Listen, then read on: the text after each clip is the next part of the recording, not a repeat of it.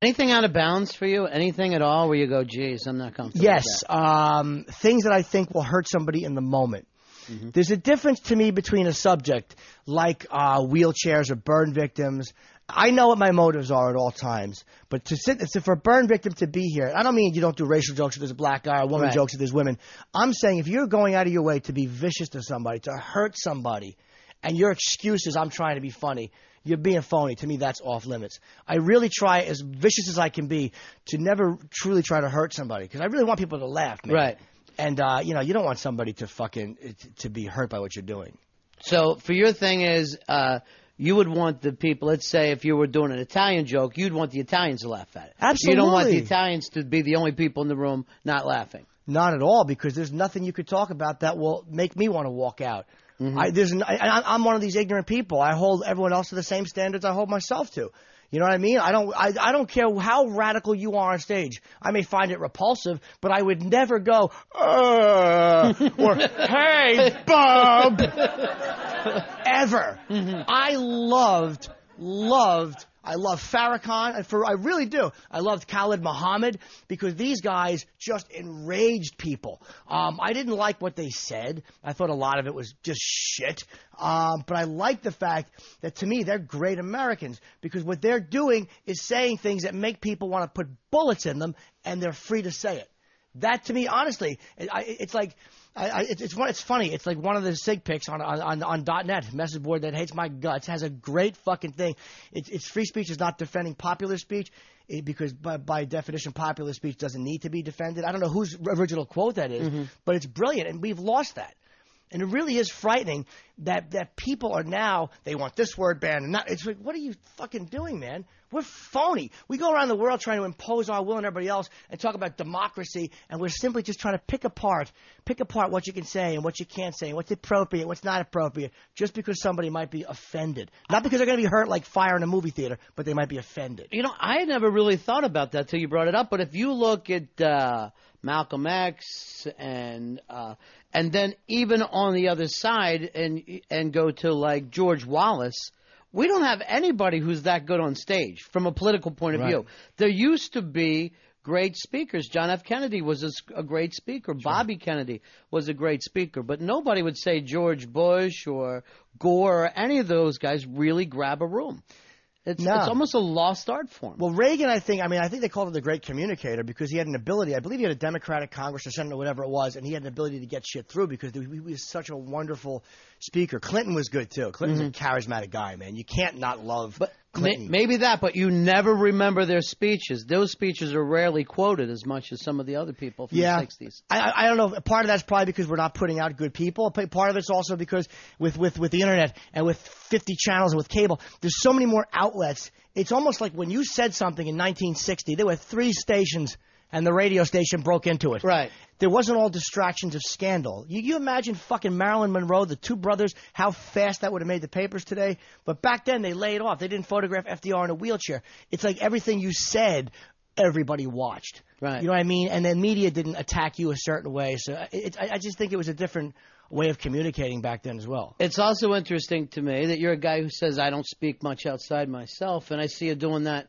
quite a bit when you want to. You know, Yeah, it oh, goes- yeah, yeah. It goes uh, apart from some of the things that you say about yourself. Well, like I, when I say I don't, sp- I mean I don't always obsessively talk about my own life, but if I talk about politics I, or whatever, I just try to skewer it honestly. I guess maybe what is my own honest feelings about things are all. I'm not always right. I know that. I'm an ass sometimes. I'm a self-important idiot. I fucking trash things on the radio, and I'm wrong, and I'm well, my opinion is wrong, but it's honest. You know what I mean? Who the fuck said you always have to be right? As long as you're telling the truth as you see it. You know, I mean, it, that's that's that's all I have. I should say. All right, let's uh, some folks going over here, and we'll take some questions uh, for Jimmy and uh, get this thing going. Just walk on over here to the uh, microphone. Now you've been listening. Everyone's a little fucking nervous now, aren't you? Oh, No, gee, I- these are all the people in the dark making those moaning. I've noises. just I've just put them to sleep. and they're all like, "All right, look, melatonin." it always takes one. Here you go. What's your name, man? Hey, Joe. Hi, Hey, Joe. Joe. Hey, uh, Jimmy. Uh, one of your first big breaks was uh, with Dice. Yes. And uh, I noticed uh, listening to the show and a lot of the replays, uh, especially when uh, the guys would would uh, tear into him a little bit uh, after after the, the, the meltdown uh, he had. uh, you're you're always very quiet about Yes. that.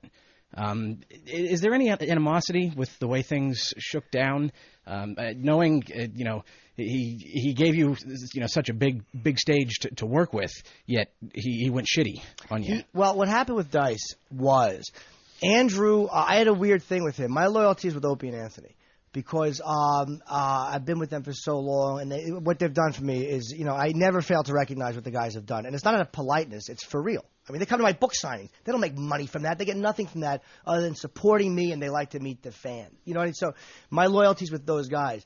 Andrew never bashed me personally.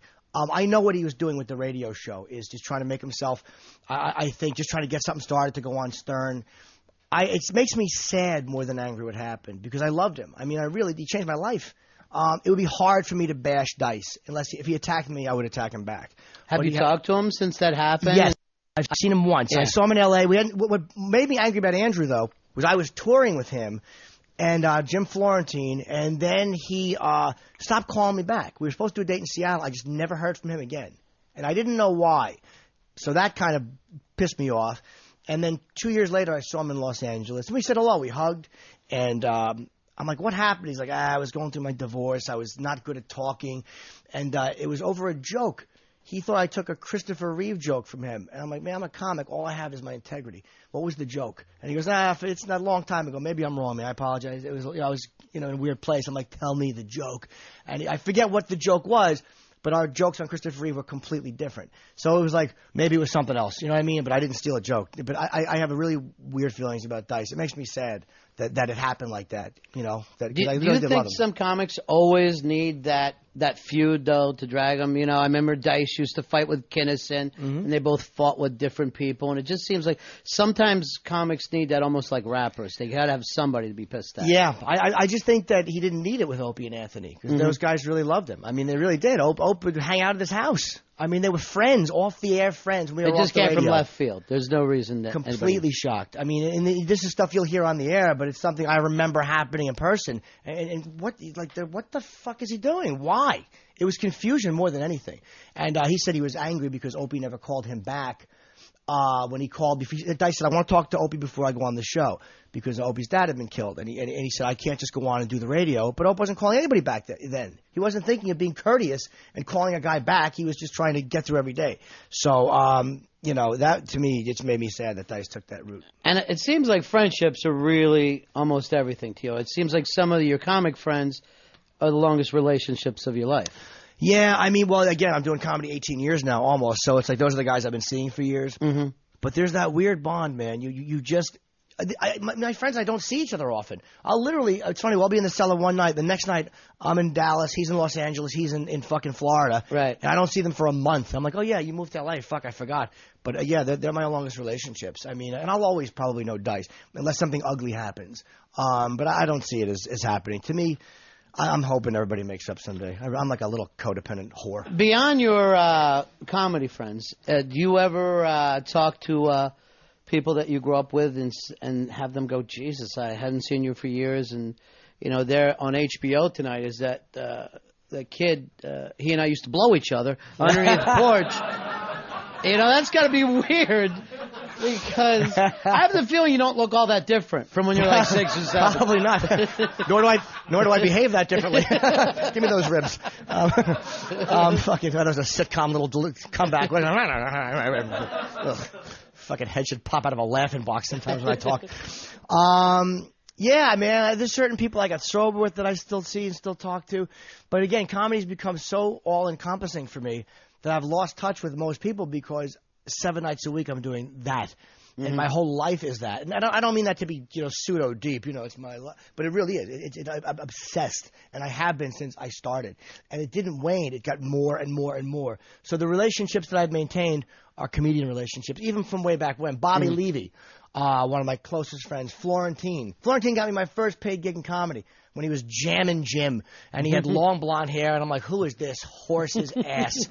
he was just like a dumb Dee Snider looking guy, and he got me my first paid gig in, in, in 1990, and he's been one of my closest friends. So those are relationships I've kept. You know, you got sober so uh, early, and now you say you struggle with the sexual addictions. Any of the other addictions ever come back to haunt you? Ever, you know, still pressed about alcohol and drugs, or? Well, it's